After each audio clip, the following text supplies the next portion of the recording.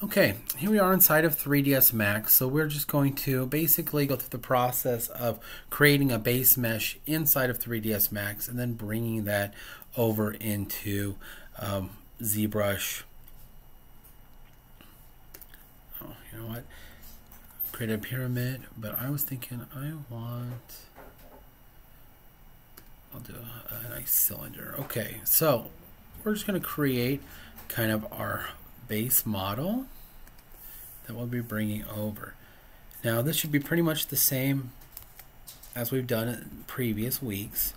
So nothing too overly complicated in here. Um, let's see, where are you at? Edge faces. All right, so the big thing would be when you're bringing over a model into ZBrush and begin working in ZBrush, you can start thinking of models and objects as pieces that you can add to your uh, sculpture.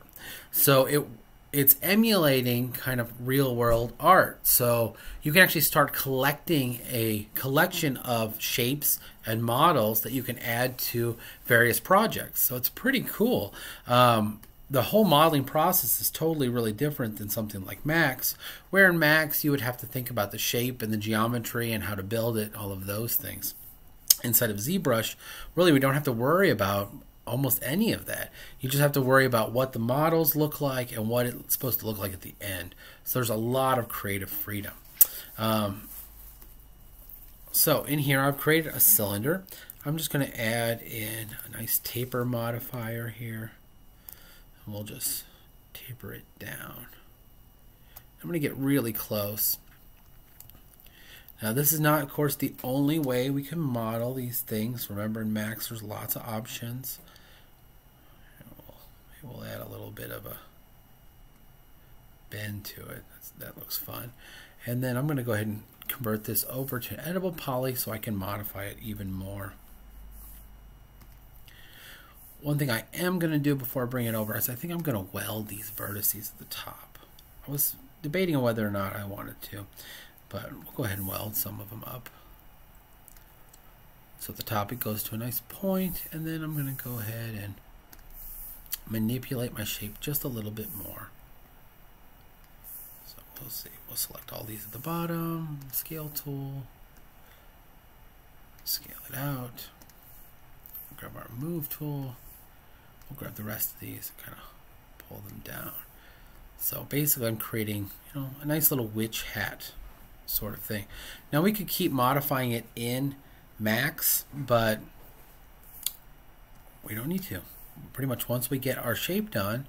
And again, it doesn't have to be perfect. We're going to be making it and modifying it inside of ZBrush anyway. So I'm going to say that's pretty good. Um, if I wanted to, I might just want to inset the bottom here because if I'm making it into a full hat, um, that'll kind of save me a little bit of extra work. We could even go one more in and then even move that up, creating kind of our interior. You know, if I wanted to, I could, of course, add like a shell modifier and have a whole interior, but that's going to be good enough. Again, I'm probably going to be putting this on someone's head, so I don't really need the whole interior. All right, then once we're done with it, we're just going to do export. If you have multiple objects in your scene, so if you modeled this hat, and you modeled the pumpkin or something else, you might want to just do selected if you only want to export one of them.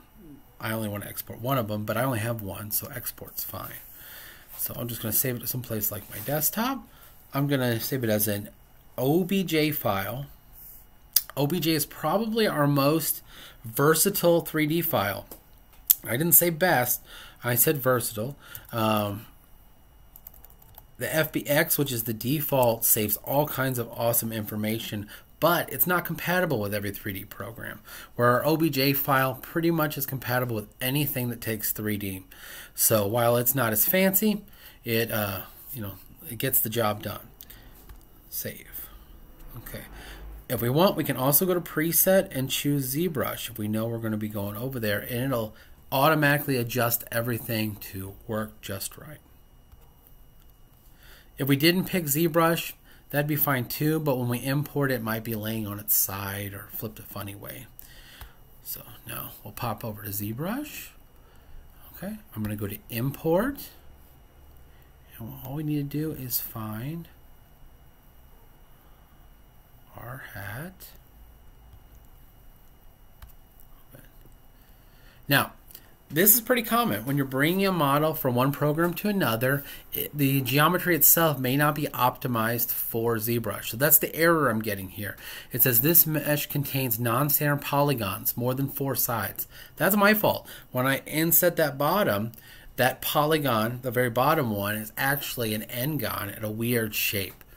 Uh, because we're going to be remodeling it and doing it all in ZBrush anyway, it's not going to be that big of a deal. But it's not doesn't it's not very good geometry, so it doesn't lend itself well for smoothing. Again, I can pick which one of these I want. Quads and triangles, symmetrical triangles, old either. Again, for what we need, it doesn't really matter. In fact, there's some tools inside of ZBrush for fixing that anyway. Now I'm just going to click and drag to create it here. Now I'm in the full ZBrush, uh, so it's a little bit different, but it's basically the same as ZBrush Core. And I'm going to hit Edit. Okay.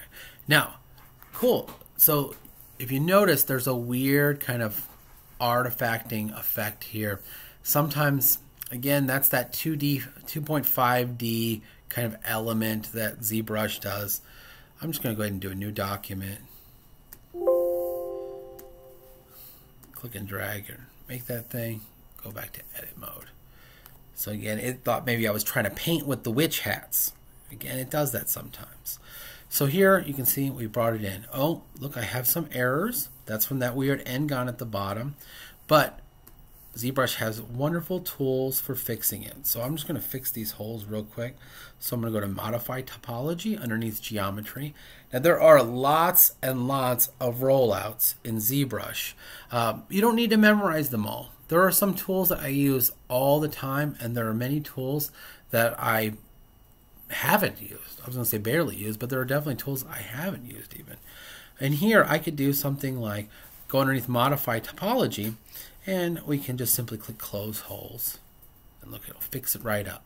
Now, if we wanted to make this mesh even more uh, ZBrush friendly, we could do that using some of the tools that I mentioned in the intro video. So again, some of the awesome tools inside of ZBrush include Z remesher. So let me click this thing. And basically it's going to completely remesh my geometry and turn it into something that's going to smooth a little bit easier. Now if I don't like it, I can always hit Control Z and go back. So we can try just dividing it. Notice it kind of jumped up and shrunk when I divided it. Again, Control Z. We'll do Z remesher. Now, if I divide it, it's just going to go a little smooth. So again, once we've done Z remesher, this is a completely different mesh than the one we brought in. It just happens to look just like it, right? But now we have access to all of our wonderful sculpt tools. If I turn on X, I can have symmetry turned on, and I can go back, hold down Shift, and maybe smooth out these weird kind of edges it's building. You know, maybe I don't like those so much. Again, I'm just kind of smoothing them out. Again, with that symmetry, it's nice because it'll do one thing same as the other. Um, but now we can really start changing the geometry. Underneath the geometry tab is where most of our tools are going to be for editing the mesh. So you can see here I can change the number of subdivisions. So that kind of adds and changes the complexity. Oh, don't really care for that too much. Again, I can subdivide it again and again or as many times as I want to kind of get that shape. Um, so for this, I can just start using my brush tools. Last week, you should have had a chance to kind of jump in and start using these. You can see there are a lot. In fact, I would say pretty much every version of ZBrush has been adding more tools. Um, there are some really cool specialty tools that do some really neat things, but are very particular to certain tasks. And then there are tools like our standard brush, clay, clay buildup, layer. Um, I use the move brush probably the most, which is odd that it doesn't default it at the top. Um, this is probably definitely my favorite brush. Um, as well as slash 3 I use a ton. Rake I like to use. Um, Flatten is the one I really like as well. Uh, as you play inside of ZBrush, you'll probably find tools that you really like. Again, I find Move to be one of the most handy because it allows me to basically push and pull on my model. Right? Now, I don't want that necessarily, but I can also hold down control. Oh, I hid my model instead of masked it. So I can hold down control and mask out parts here for right now. And even do things like scale, move, rotate, and all kinds of fun things. So it does look like I maybe missed a pixel or so there, but that's okay. Here. Again, I'm just using the masking tool. Oh, if I want to invert that, I'll hit control and click. Just invert my mask. Kind of move it around. As you can see, I'm kind of trying to create that sort of floppy hat witch look.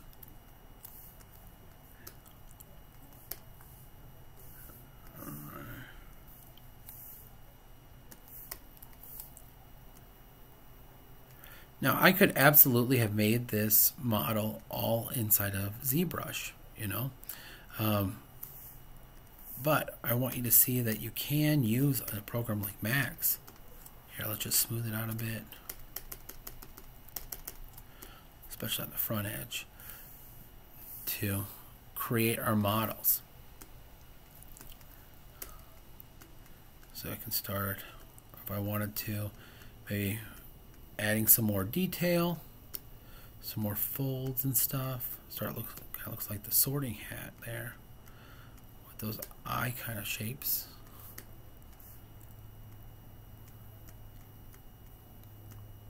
So you can see I'm just kind of using the move tool to push and pull it like clay. Like I said, this is probably one of my favorite tools. I can't think of a project I've done or I probably didn't use move at some point. Might be able to find some that I've done that only used move. Again, I could use slash or something to kind of help with these folds. Also, I don't really have a picture I'm going off of. So that's something else that might be more helpful too. If I were to working from an actual picture of a nice hat, I'd be able to get kind of how these fold lines would lay down a little bit more realistically. I'm just kind of making it up as I go right now. But that's okay too, right? You know, sometimes we don't need to go for realism. Maybe I'm making this for a video game and I want it to be a little stylized or more whimsical. So you can just see just by simply pushing and pulling and making some adjustments, we can kind of create a fun look. Okay. Now, of course, the modeling part inside of ZBrush can take as long as you might want it to.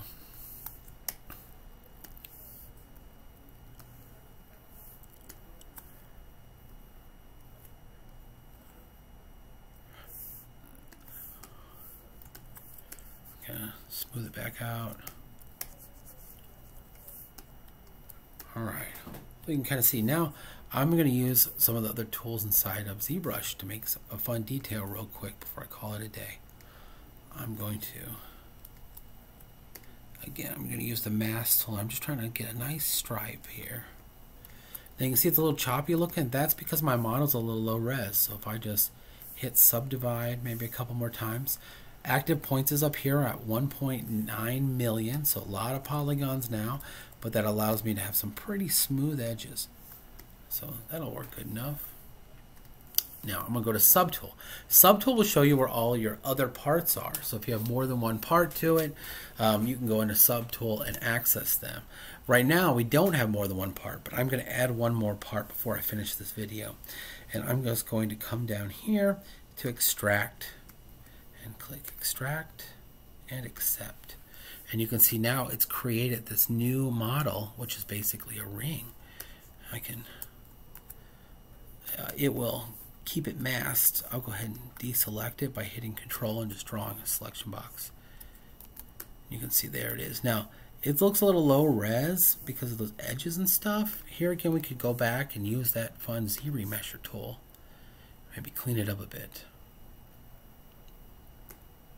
Mm, still a little ragged.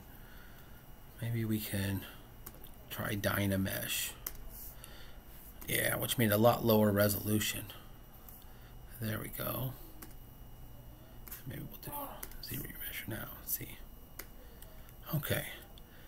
You know, again, I guess I'll we'll just smooth it out a bit. You can see it kind of ju jumping around on me. I'm just holding on shift and snapping to different places. Here, if I want to make this a little longer again, again, we can just kind of use these tools. And we'll even scale it a little. Again, it looks a little funky in the middle, but we hit this with a nice smooth. Get rid of that weird edge I just created. Alright, now we start kind of getting our shape. Now I could keep playing with this as much as I want until we're happy. Um, maybe I'll even in, inflate the brim a little bit. Grab that.